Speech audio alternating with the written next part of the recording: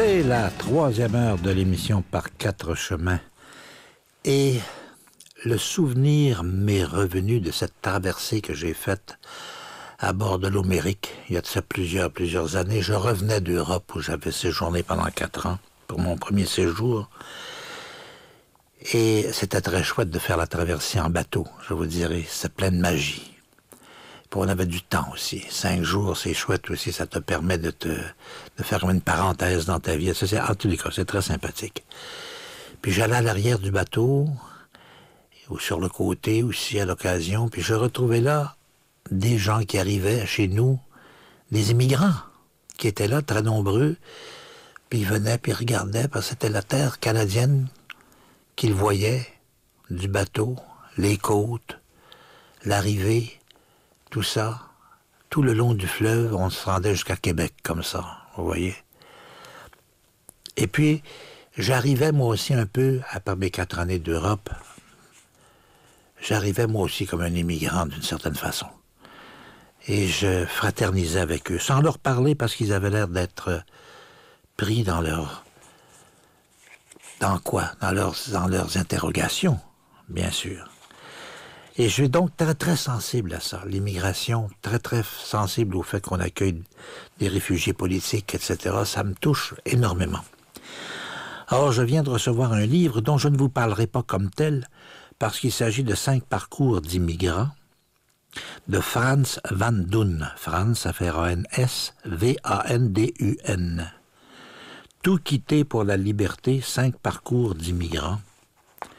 Et je vous le, vous le recommande sérieusement, curieusement, qui a été publié à libre expression. C'est chouette pour des gens qui cherchent la liberté.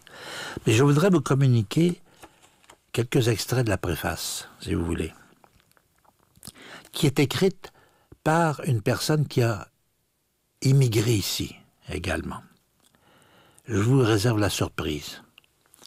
Nous, dit-elle, réfugiés qui n'avons pas choisi de l'être, sait-on de quoi sont faits nos souvenirs?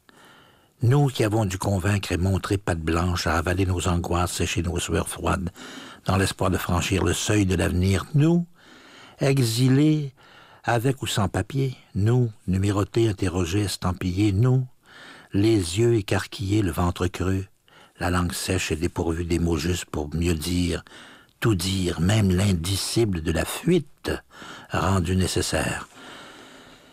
Je me souviens de la terreur, des coups portés à la tête de mon père défiguré. Je me souviens de la course folle pour échapper aux tortionnaires à notre. Je me souviens des pelotons d'exécution, des voisins brûlés vifs, des amis arrêtés et portés disparus. Je me souviens des mots chuchotés, de la colère retenue. Je me souviens de quelques libertés imprudentes qui auraient pu nous perdre sur le champ, mais que l'on ose, parce qu'il faut bien résister et rester digne.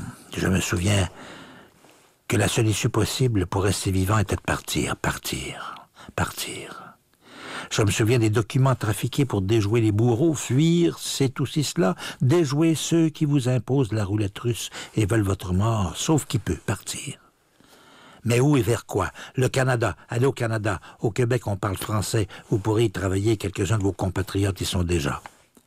Je me souviens du dernier jour en ma terre natale le jour de déracinement qui nous a semblé celui du jugement dernier, le jour où l'autre vie fut enterrée, le jour où nous avons échappé aux gardiens usurpateurs de notre terre devenue prison, le jour où dans un avion nous nous sommes envolés vers l'inconnu. Je me souviens de cette nuit de février si noire et si glaciale, où nous sommes arrivés à Dorval, ma mère, ma sœur et moi rejoindre mon père, qui nous avait précédé comme un miraculé, évacué d'urgence par une ambassade un an auparavant.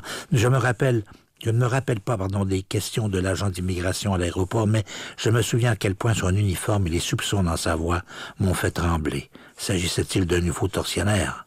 Je me souviens de la douceur des réponses de ma mère, désemparée à bout de force, qui voulait à tout prix le salut de ses enfants, garder ses petites saines et sauves. Je me souviens qu'il nous a fallu repartir de zéro, les petits bouts de misère que ma mère acceptait sans y perdre sa fierté, les quelques scènes pour finir la semaine. Je sais comment nous nous sommes reconstruits au Québec, là où l'on a bien voulu de nous, et combien nous avons aussi mis nos forces vives à contribution. Je sais comment nous avons étendu nos racines en surface d'abord, et que nous continuons de le faire chaque jour dans un ancrage de plus en plus profond. Je sais surtout combien nous, réfugiés, aimerions voir s'ajouter notre histoire comme celle de tous ceux qui continuent d'arriver, à la mémoire de ce pays qui nous a accueillis. Michael Jean journaliste et animatrice à la télévision de Radio-Canada, est arrivée au Québec un soir de février 1968 avec sa mère Luce et sa jeune sœur Nadège à l'aéroport de Dorval. Ce soir-là, Roger, reçu un an plus tôt comme réfugié politique, a retrouvé sa femme et ses deux filles.